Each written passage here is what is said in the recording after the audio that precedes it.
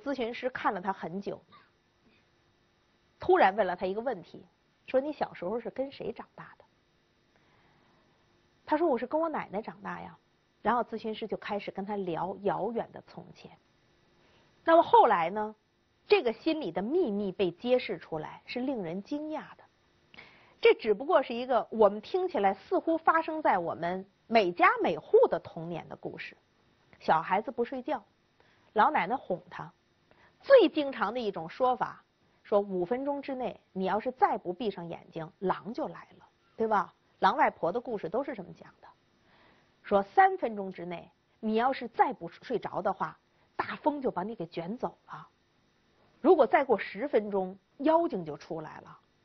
所以小孩呢，就是因为害怕，睡不着也得闭着眼睛。而闭着眼睛的时候，他就一直在想着这些东西来了会怎么样。这个咨询师后来讲说，就是由于我们大家司空见惯的这种哄孩子睡觉的方式，可能使那种特别敏感的孩子在某种机遇下会得上这种强迫症。所以他当时突然就问他，他说：“你手里倒着这个烟灰缸，这是一种仪式。你告诉我，你现在心里有什么预感？”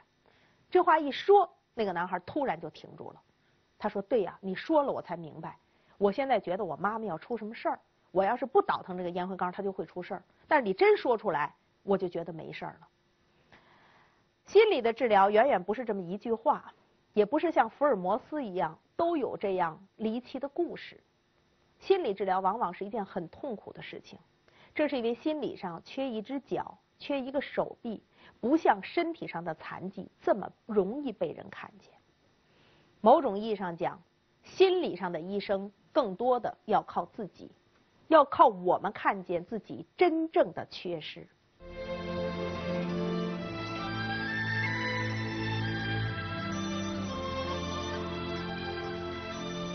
这种缺失有可能是在每某一个偶然的机遇下自己的一个错误，也有可能是在某种时刻自己不经意的受到了一个打击，从此不知不觉就积淀下了一种毛病。但是如果我们真的回头来看，庄子告诉我们，在天地之间，如果一个人真的顺应生命形态。那么，首先把这些个遗憾和残缺都接受下来吧，不要委屈，不要较劲，而想的是怎么样改良它，能让自己更好。庄子还写过一个人，叫做哀台他。卫灵公听说了这样一个人，而且后来他见到了这个人，他就去跟孔子说：“他说有一个面貌特别丑陋的人，叫哀台他。”但这个人有一种神奇的魔力，男人如果跟他待上一段时间的话，就会因为留恋这个人的德性，觉得这人是个好朋友而离不开他。女人一旦跟他见了面，知道有这样一个人，女孩子就回家去跟父母说：“说与其为别人妻，宁可为夫子妾。我就算是给他做妾，我都不嫁到别人家去做正房。”说这样的女孩子啊，我听说有十几个，而且人数还在增长。他说这人就怪了，他我也没看见他有多大的作为，也没有很清晰的主张。我经常看见他，无非就是附和别人的一些意见。那么我就因为对他好奇，我后来就把他给请来了。请来我跟他相处呢，哎，我就发现很舒服。不到一个月，我就特别信任这个人。然后鲁哀公就问孔子说：“你说说看，这个哀台他到底是一个什么样的人呢？那么这是一个什么样的人？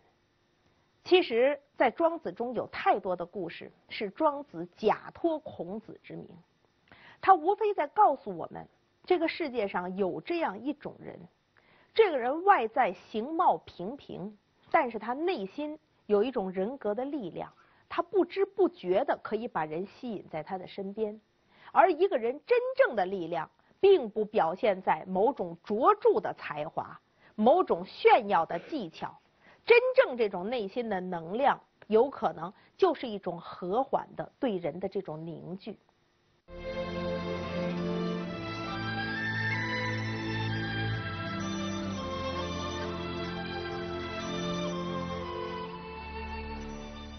其实我们翻开庄子，从他第一篇《逍遥游》开始，到他所列举的凡此种种这些人，这里面一直贯穿着一个核心的思想，那就是大与小的区别。大与小绝不是好看与难看之分，真正的外在形态与内心境界有时候相去甚远。庄子告诉我们，这些表面看起来稀奇古怪的，甚至是形貌恐怖的人，并不排除他们的内心有一种大境界，是我们这些健全人不能比拟的。有些人可能由于自己的健全、机敏、皎洁，反而使自己受制于心。其实看庄子的文章。有的时候会觉得无边无际，看眼前的影像，会觉得他描述出来的一切奇思异想都超乎我们生活经验之外。但是如果换一个角度，站在我们的内心去看，我们是可以对应上一个又一个影像的。我们到底有哪些隐疾？我们到底有什么样的心理障碍？我们到底有什么童年的阴影？我们有什么人生的缺憾？这一切一切，是不是都像描述的这些人呢？而这些人，他们以德行的超越，是不是会给我们一种想法，给我们一种勉励？是不是能够让我们知道，在今天我们每一个人在调整你的位置时候，可以有一种参照？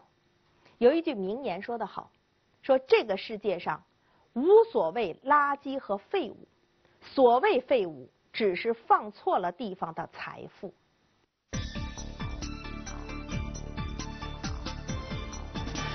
有很多财富，无非是放错了地方。李白的诗说：“天生我材必有用，大材大用，小材小用。每一种有用和无用之间，只不过是看。”你自己生命的质地和你所处的环境之间是一种什么样的匹配？周周是一个奇特的例子，他以那样的一种智力而成为一个天才，他超越了凡间的评判。而我们每一个人，就目前而言，是不是在以凡间的评判标准在评价着我们自身的功能呢？所以，其实看遍了所有的这些奇人。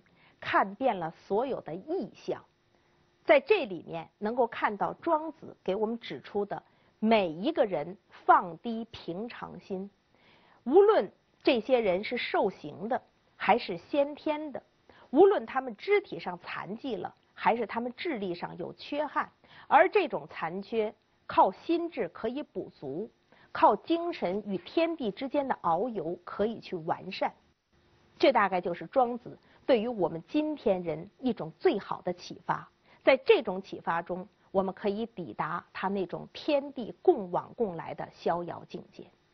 每个人都是一个独立的个体，但同时也是社会中的一员。